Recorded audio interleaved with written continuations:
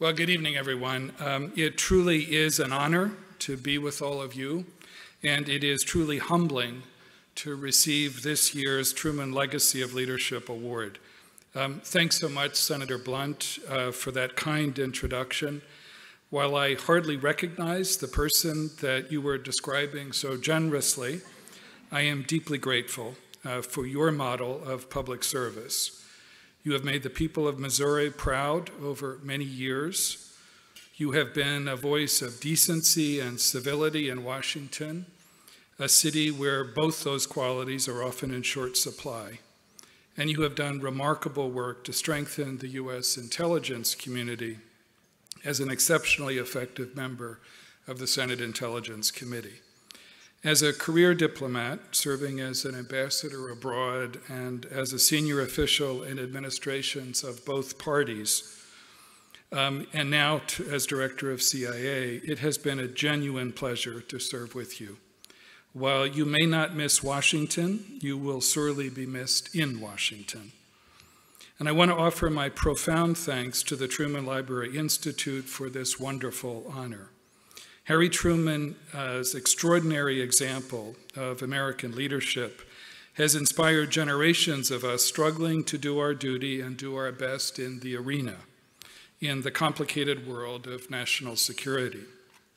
As Jeffrey Frank captures so beautifully in his biography, President Truman was an ordinary man thrust into an extraordinary moment but his common sense, his grasp of history, and his willingness to make tough decisions set the standard for all of us. While I am not at all sure that I belong in the list of award recipients who honor his memory, I greatly appreciate this recognition. My own career in public service has been very fortunate. I never had to look any further than my father, a career Army officer and a very fine man, to see the best possible model of leadership and public service.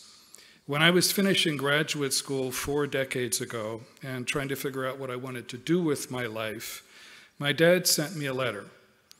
Nothing will make you prouder, he wrote, than to serve your country with honor. I have spent the last 40 years learning the truth of that wise advice. I also learned a lot about leadership from several of your prior honorees.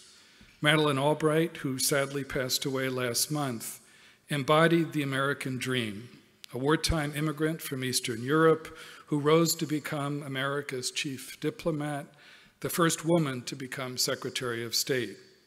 She had President Truman's gift for straightforward and honest expression and his readiness to lead with candor and plain spoken wisdom.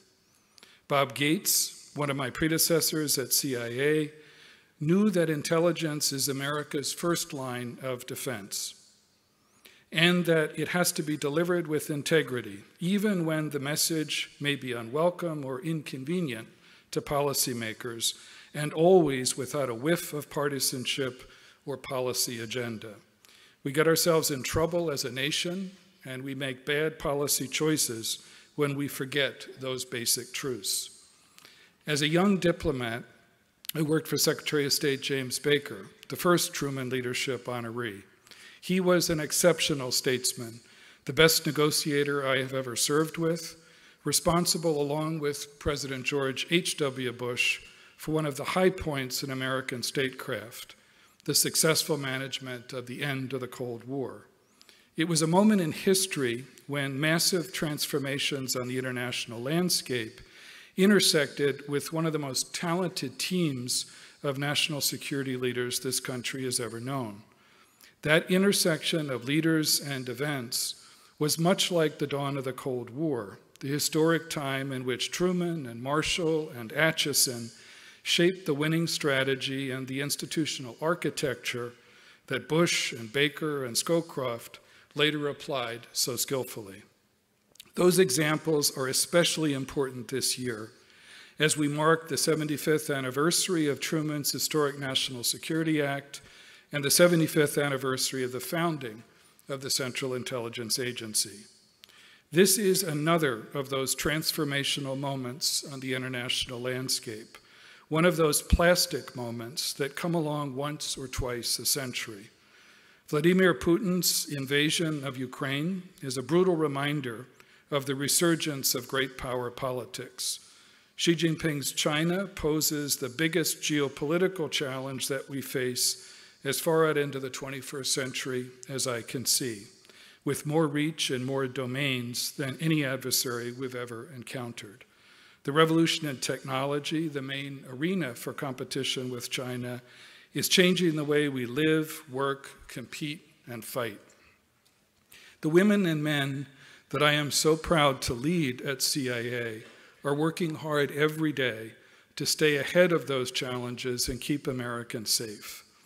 I am particularly proud of the critical work that the U.S. intelligence community has done in supporting Ukraine against the vicious aggression of Putin's Russia.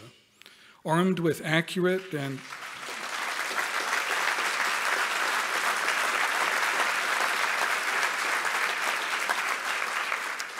Armed with accurate and precise insights and information, the US government uh, shared them energetically with our allies from the start. We've been equally committed to rapid and effective intelligence sharing with our Ukrainian partners throughout the fighting and for months beforehand. As Allied leaders and counterparts uh, have emphasized directly to me in my travels in Europe, the credibility of American intelligence has helped cement the solidarity of the alliance. As President, at President Biden's direction, the US government has also taken unprecedented steps to declassify intelligence and use it publicly to preempt the false narratives which Putin has used so often in the past. The last chapter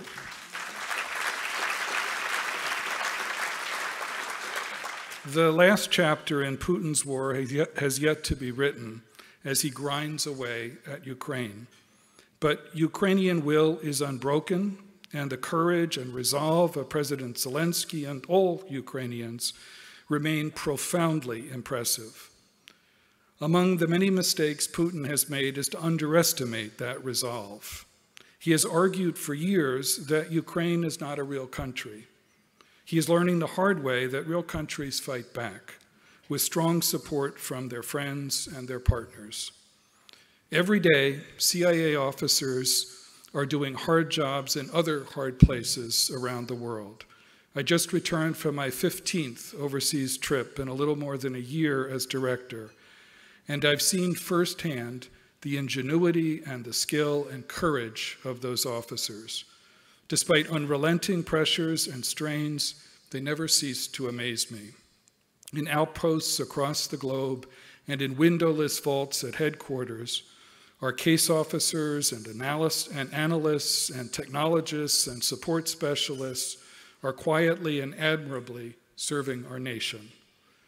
They do not seek public acclaim, and their profession often keeps them in the shadows, out of sight and out of mind.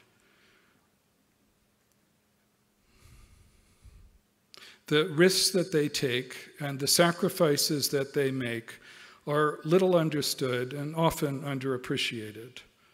But the role that they play is critical to our nation's security, as Harry Truman foresaw 75 years ago when he created the CIA.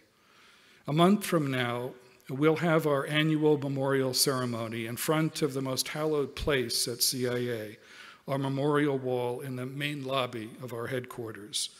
Its marble surface is marked today by 137 stars, each one a tribute to the sacrifice of officers who died protecting our country. It's a vivid reminder that public service is not an abstraction. It's about deep commitment, sometimes at great risk. It's about patriotic Americans from across the richness and diversity of our society who dedicate themselves to defending the interests and values that animate America in the world, and that President Truman did so much to honor and foster.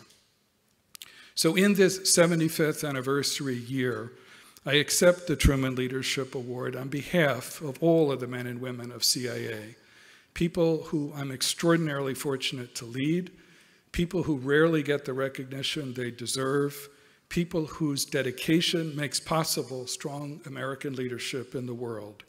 I'm confident that Harry Truman would have wanted to put the spotlight on the people who really deserve it, and I'm honored to help all of you shine that light on the people with whom I'm proud to serve. Thank you all very much.